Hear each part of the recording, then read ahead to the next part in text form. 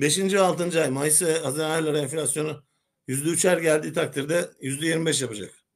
%25 ilk 6 aylık enflasyon olacak. Bunu daha fazla yükseltmek istemiyorlar. Onun için de seçim sonrası beklediğimiz zamlar vardı. Enerji zamları, elektrik, doğalgaz zamları. Bakan açıklama yaptı. Doğalgaz ve elektriğe Mayıs Haziran'da zam yapmayacağız. Neden Mayıs Haziran'da yapmayıp da Temmuz'dan itibaren yapmaya başlıyorsunuz? Çünkü Mayıs Haziran'da yaparsa memurların, işçilerin, asgari ücretin enflasyon kadar artması gerektiği için enflasyon yüksek olacak. Yüksek evet. bir artış olacak Temmuz'da. Temmuz'da memur, emeklilere. Ee, evet, en... memur işçi ve evet, asgari ücret zamlarının yüksek çıkmaması için Temmuz'da Hı. zamların önemli bölümünü Temmuz sonrasına bırakıyorlar. Ve doğalgaz, elektrik zamlarına şöyle bir politika izleme karar vermişler. Temmuz'da Aralık ayları arasında yani yılın ikinci yarısında yüzde beş ile yüzde on arası aylık zam yapacaklar. 6 ayda yüzde sekiz yapsalar yüzde kırk sekiz yüzde elli artırmış olacaklar. Böylece enflasyon sıçramış olmayacak. Yavaş ve yaygın bir enflasyon ortaya çıkmış olacak. Rakamlarla oynamayı çok iyi biliyorlar. Artı TÜİK yayınladığı rakamlar zaten çok ciddi şüphe taşıyor. Ciddi olarak herkes tarafından TÜİK'in rakamlarının doğru olmadığı gündeme getiriliyor. Bu halkın enflasyonun altında ezilmesinin en önemli nedenlerinden biri de TÜİK'tir. TÜİK'in yaptığı uygulamalardır. TÜİK fiyatları tespit ederken veya enflasyon tespit ederken nerede ucuzcu market var, nerede pazarda ucuz mal var, en düşük, en kalitesiz mal hangi fiyattan sanırım bu şekilde bir fiyatlama yapıyor. Bizim yaşadığımız, hissettiğimiz çarşıdaki pazardaki enflasyon aylık yüzde yedi iken TÜİK'in enflasyonu yüzde üç çıkıyor. Bu şekilde bir yere gidemezsiniz. Güven sağlayamazsınız. Halkı inandıramazsınız enflasyonun düşeceğine. Evet. E, dolayısıyla e, maaş zamlarına ilişkin tahminlerinizi, beklentilerinizi de ifade etmiş oldunuz. Arkadaşlar çok şey beklemeyin. Rakamlarla oynayarak aslında yine hani enflasyona oranlı bir e, zam gibi yapıp aslında çok çok altında e, zam e, yapacaklar. Zaten halk da başlarına ne geleceğini biliyor da işte bir Umut Hocam soruyorlar, e, beklenti içindeler. E, şimdi e, konut ve araba fiyatlarına gelmeden önce bu bankalarla ilgili de duruma geçeceğiz ama içinde bulunduğunuz duruma dair bir takipçiniz size bir e, belge göndermiş. E, onu da e, aldım Twitter'ınızdan. E, şimdi fiş. Sayın Şenol Hocam ülkede ne paranın ne insanın değeri kalmadı üzgünüm diye. E, bu fişte 25 Nisan 2024 tarihi çok yeni yani bir kıymalı börek. E, bu bir kilo mu acaba hocam köy böreği? Üç Dört beyaz peynirli börek. Üç ha. porsiyon. Üç porsiyon. E, 4 90, 499 lira. iki ayran 437. Bir bardak çay 124. 33'lük cam şişesi 124. Bu hocam kuruş mu lira mı bunlar ya? Lira lira. Yani 2499 lira mı bu hesap? Evet şimdi ben okuyayım isterseniz. 3 3 beyaz peynirli börek 3 porsiyon. Evet. Bir kıymalı kol böreği 3 porsiyon börek 1311 lira. Ay ben onu görmedim. Ben onu şey zannettim. E, üstünde ay inanamıyorum ya. Bir kıymalı börek. Bir porsiyon kıymalı börek 499 lira. İki ayran 433 lira galiba okuyabildiğim kadarıyla. Bir bardak çay 124 lira. Bir şişe 33'lük küçük su 124 lira. Toplam 2499 2500 lira. Aman ha yani 4 börek genel olarak bakarsak 2 ayran, bir çay, bir de küçük su 2500 lira hocam. 2500 lira. Sanırım İstanbul Havalimanı'nda yapılmış bir alışveriş. Evet, e, orası bir felaket canım. Bir sandviç bile artık 300, e, soğuk sandviç 300 liralar civarında. Korkunç. Ay bu nedir ya hakikaten? 124 lira bir bardak çay. Vay, bir su geçen ben bakın geçen ben e, gene bir ekonomi programında dedim ki şu hani e, bir boykot çağrısı vardı ya. Şimdi onun evet. perde arkasında ne var ne yok bilemem ama e, tartışmasına girecek olursak Şimdi aynı çayı hocam bir bardak çayı e, gidiyorsunuz Kızılay'da 10 liraya içiyorsunuz Ankara için söylüyorum. Çankaya'da e, 60 liraya içiyorsunuz. E, bu nasıl bir adaletsizlik dedim. Millet bana dedi ki işte Çankaya ile Kızılay bir mi? Twitter'da yazmışlar. Kardeşim bir değil de bu kadar da fark olmaz ya bu kadar e, şey de e, bu oraya giden müşterilerden çıkmaz. Hasbel kadar Çankaya'ya gittiniz orada biraz oturayım nefesleneyim dediniz bir bardak çay içeyim dediniz 60 lira. Olacak iş mi bu ya? Veyahut da 100 lira neyse. Ee, Çok fark var. Ben size şunu söyleyeyim. Ankara'da biliyorsunuz ben Tunalı İlmi Caddesi'ne yakın bir yerde oturuyorum. Evet. Tunalı İlmi Caddesi üzerinde ne kadar uzun oldu uzun biliyorsunuz 300-400 metrelik bir cadde. Evet. 10 liraya çay var. 15 liraya var. 27 liraya var. 35 liraya var. 45 liraya var. Aynı cadde buyurun. Bu da bir 300 metrelik mesafede çay fiyatları ya. 10 liradan 45 liraya kadar çay içebiliyorsunuz. Bu kadar fark olmaması lazım. Olmaması lazım. Yani nedir içine altın tozu mu koyuyorsunuz? Nedir? Tamam dükkan kirasını çıkaracaksınız da onu niye bizim sırtımızdan çıkarıyorsunuz? Onu anlayamadım ben. Gidin, itiraz edin, hakkınızı arayın yani. Beni eleştirmişler de bu şey e, semtle ilgili diye. E, Gazi Osman Paşa ile işte Etileri mesela karşılaştırdım İstanbul'da. E, bana diyorlar ki oralarda çay fiyatları bir mi, dükkan fiyatları bir mi? Bakın hoca e, Şenol Hoca aynı semtte aynı cadde üzerindeki e, inanılmaz farklı fiyatlardan söz ediyor. Yani burada işletmeci de az uyanık değil. Onu söylemekte fayda var. Acısını gene e, tüketiciden çıkarıyor. Gidip e, o e, fiyat e, şeyini politikasını uygulatan e, siyasete veya hükümete e, serzenişte bulunamıyor, sesini çıkaramıyor. Korkunç bir şey bu tabii hocam. Şimdi e, sizin dediğim gibi e, bankalarla ilgili de e, attığınız e, tweetler var. E, bankaları da çok merak ediyor insanlar hakikaten. E, ne olacak bu e, faiz politikaları nereye gidecek? Çünkü dolar ve altında ya da dövizde dikkat çeken gelişmeler var. Onlara geçmeden önce bu bankaların hem e, bu KKM ile ilgili son durumunu hem de e, kar rekorunu paylaşmışsınız. Onu getireceğim ekrana. Bankalarda durum ne diye çok iyi bir e, örnek Şenal Hoca'dan. Hocam ekrana getirdim. Diyorsunuz ki bankacılık, kamu bankalarında kar rekoru. Bankacılık sektörünün Mart 2024 sonu kar rakamlarına göre geçen yılın aynı dönemine göre en yüksek artış kamu sermayeli bankalarda gerçekleşti ve Mart 2023 ile 24 e, arasında bir değerlendirme tablosu var. E, buyurun hocam. BDDK'nın e, rakamları bunlar aynı zamanda. Şimdi burada şaşırtıcı olan kamu bankalarının çok yüksek bir karlılık açıklamaları. Detayları henüz yayınlanmadığı için göremiyoruz. Nereden kaynaklanıyor, hangi bankadan kaynaklanıyor. Ya, kamu bankalarının karlılığı %99 artarken yani %100 artmış, ikiye katlanmış. Yerli sermayeli özel bankalar %11 arttırmış karını. Onlarda da çok düşük bir artış var. Enflasyonun %70 olduğu bir ekonomide bir banka karının %11 artması çok düşük. Yabancı özel bankalar %60 civarında bir artış söz konusu. Bankacı sektöründe ise %45 bir artış var. Burada yerli özel bankalardaki artış düşük artışın nedenleri ve kamu bankalarındaki yüksek artışın nedenlerini şu an için göremiyoruz. Veriler henüz detay yayınlanmadı. Önümüzdeki hafta yayınlandıktan sonra daha net bir şeyler söyleyebiliriz. Bankacılık sistemine ilişkin baktığımızda temel olarak yeterince banka bazına indiğimizde bazı bankaların yeterli karları olmadığını, bazı bankaların ise çok iyi karlar elde ettiğini görüyoruz. Sisteme temelde baktığımızda banka bazında olsun genel olarak sağlam bir bankacılık sistemiyle yola devam ediyoruz.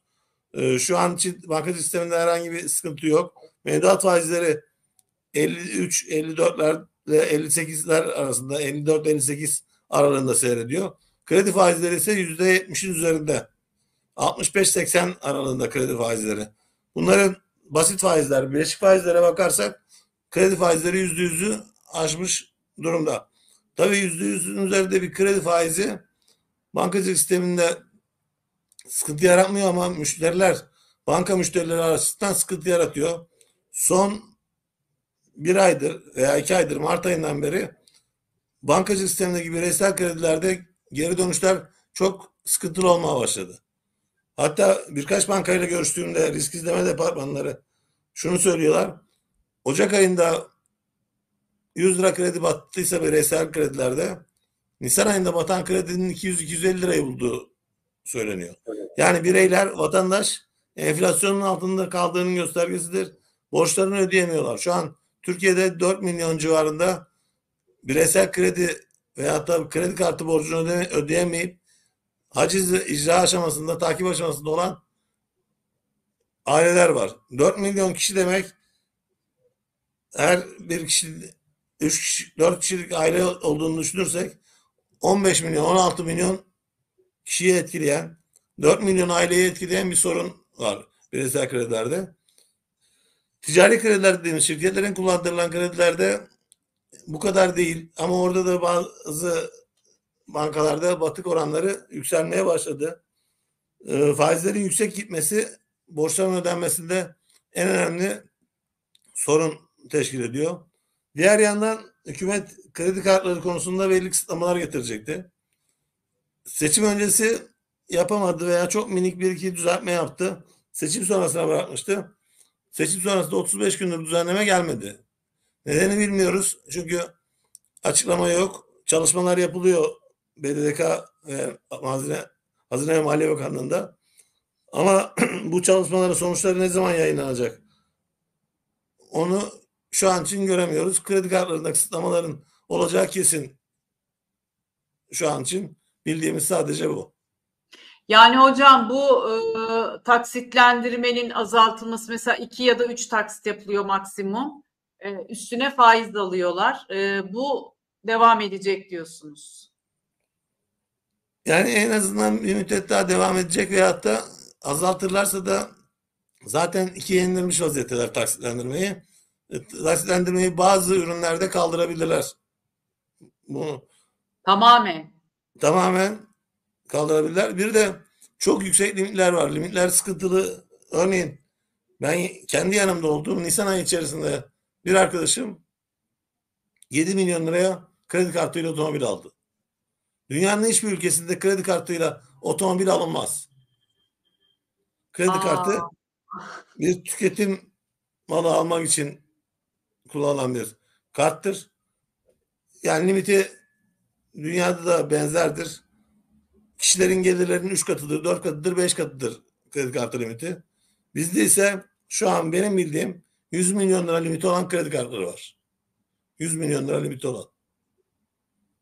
Yani tabii şöyle bir durum da var. 100 milyon e, limitli kredi kartının aslında oradan taksitle alacağı şeyi ödeme gücü de vardır herhalde değil mi hocam? E tabii tabii. Vay yani, arabayı duymadım hocam. Bilseydim zamanında ben de yapardım. Hiç aklıma gelmedi. Geçmiş olsun artık. Taksit olayı bitti. Ee, peki e, şimdi bu kredi kartı limitleri de düşürülüyor. Peki bu halk nasıl alışveriş yapacaktı? Arabayı arabayı geçtim bu işin latifesi de. Ya marketten mesela e, giyimi falan da geçtim. Hadi 20 yıl aynı şeyi giysinler.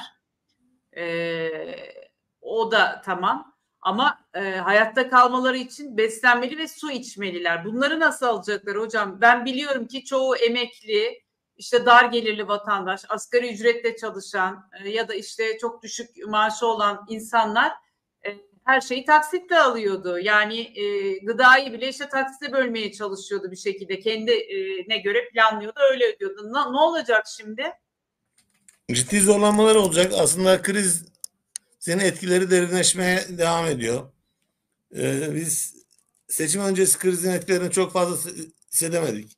Hissedememizin nedeni biraz gevşek politika uygulaması enflasyonu düşürme konusunda. Biraz da enflasyonla mücadelede sert olmakla birlikte e, harcamalara izin verilmesi, harcamalara ilişkin kredi kartları başta olmak üzere limitler getirilmemesi, rahat hareket etmesini hissettirmeden rahat hareket etmesini sağladı vatandaşın. Fakat şimdi eğer sıkı, sıkı para politikasına devam ederlerse ki edecekler alışveriş konusunda bundan sonraki süreç çok daha zorlu olacak. Bundan sonraki krizin etkilerini daha fazla, daha sert hissedeceğiz. Özellikle 2024 yılı çok sıkıntılı geçecek. 2025'ten itibaren belki bir rahatlama olabilir. Yani daha önümüzde yaklaşık 7-8 e, ay var. E, şimdi bu kredi kartın taksitlendirme işi dediğiniz gibi iki maksimum belki bazen şimdilik üç verenler de var. Üstünü veriyorlar hocam ama faiz gene burada halkı tokatlıyorlar. Yani evet. e, aylık taksit sayısına göre vade farkı koyuyorlar. Halk gene tokatlanmış oluyor yani. Eli mahkum onu alacak. E, yani bir şeye ihtiyacım var diyelim ne bileyim fırının bozuldu, buzdolabın bu ne yapacaksın? Yani şey gibi ilk çağdaki gibi terekte saklayacak halin yok e, gıdaları. Ne yapacaksın? Alacaksın o buzdolabını. E, üstüne faizi yiyeceksin. Ee, bir arkadaşım sordu geçen gün. İşte buyurun. bu krizin bedelini kim ödeyecek? Bu borçları kim ödeyecek? Şunlar nasıl ödenecek? Ben tek tek saymama gerek yok dedim. 10 tane madde saydı. Bu tür durumlarda hepsini ödeyecek kişi bellidir. Vatandaştır sonuçta. Vatandaş ödeyecek, vatandaş ödeyecek, vatandaş ödeyecek. Ne varsa hep vatandaş ödeyecek. Ee, zaten öyleydi. Böyle gelmiş, böyle gider. Ee, şimdi hocam merak ettiğim bir başka konu benim de birçok kişinin de. Şimdi parası olan 3-5 kuruşu da olsa, işte 5-10 kuruşu da olsa, 50-100 e, lirası da olsa, binlerce lirası da olsa e, bu devirde bir şekilde yatırım yapmaya çalışıyor. En azından kısa vadede de olsa bir kar elde edebilmek için. E, dolayısıyla kimi altına yöneliyor, kimi e, dolara, euroya yöneliyor, kimi borsaya yöneliyor. Borsada anlamayan batıyor. E, böyle bir durum var. Şimdi en mantıklı yatırım aracı şu dönem için hangisi? Onu sorayım. Yani tavsiye anlamında değil ama en mantıklı. Hani mantığımızı kullanırsak ne yaparız? Biraz önce konuya ilişkin bir cümle söyleyip yatırım aracına geçeyim. Seçimden önce şöyle bir cümle kullanmıştık. Yemeği yiyenler farklı, hesabı ödeyecek olanlar farklı. Yemeği yiyenler yedi seçimde, yemeğe de devam ediyor. Siyasetçi. Evet ülkeyi ama onlar bedavaya yiyorlar bir de hocam. Ülkeyi yönetenler siyasetçi yemeği yemeye devam ediyor dediler. Hesabı biz ödüyoruz. Vatandaş ödüyor. Halk ödüyor yemeği yiyenlerle hesap ödeyenler aynı kişiler değil. Enteresan bir ülkeyiz. Yatırım araçlarına gelince şimdi genellikle izleyicilerimiz tasarruf sahipleri çok yüksek gelir elde etmek istiyorlar böyle durumlarda. Tabii yüksek getiri demek yüksek risk demek. Yüksek getiri yüksek riski de beraberinde getiriyor. Ondan sonra getiri gerçekleşmez risk gerçekleşirse bir de paranın, ana paradan para kaybetmiş oluyorsunuz. Ben onun için tasarruf sahiplerine şunu tavsiye ediyorum. Yüksek getiriden yana doğru koşmayın. Özellikle finansal okuryazarlık düzeyiniz, ekonomi okuryazarlığınız yüksek değilse genelde riski düşünerek, önce riski düşünüp risksiz araçlara doğru koşmak lazım. Risksiz araç nedir? Ana paradan kaybetmeyeceğiniz yatırım araçları. Onun için şu an için en uygunlarından bir tanesi faiz. Yani mevduata yatırmak. Mevduat faizleri 57-58'lere kadar çıkıyor. 55, 56, 57, 58. Ben peki hocam burada şunu sorayım. E, dolara yatırım yapmış şimdiye kadar biri. Dolarını bozdurup mevduat faizine mi geç, geçmeli mantıklı evet, olarak? Evet bir müddet geçmeli. En azından Eylül-Ekim ayına kadar. Hatta yıl sonuna kadar. Eylül-Ekim ayında bir daha değerlendiririz. Bakarız duruma önümüzdeki 3-4 ay, 5 ay TL'ye geçmekte yarar var ve Türk lirasına geçip mevduat hesabı açmak. Kısa vadeli, 3 ay vadeli veya 2 ay vadeli veya 1 ay vadeli çoğunluğunda da mevduat. İkincisi biraz daha riskli bir araç arıyorsa, daha yüksekte bir getiri bekliyorsa yatırım fonlarına doğru kaymalı. Bunlar hisse senedi ağırlığı, altın ağırlığı fonlar olabilir. Hisse senedi, altın ağırlığı fonlar. Bu süreçte altın değil ama fon. Evet, fon. Evet. Bu süreçte riskli araçlara gitmek çok doğru değil. Dövizin önümüzdeki dönemde biraz durağan seyredeceğini görüyoruz. Yani döviz kurları muhtemelen yıl sonunda 40 dolar 40 TL civarında kapatacak. Bu da yaklaşık 32-33 lira olan dolar 40 TL civarında kapatırsa %20 25 bir artış olacak. Mevduat faizi bunun üzerinde şu an. Yüzde 8 aylık dönemde yüzde 40'a yakın para kazandıracak mevduat faizi. Dolar ise yüzde 20-25 kazandıracak. O nedenle vatandaş dolarda kalmaktansa TL'ye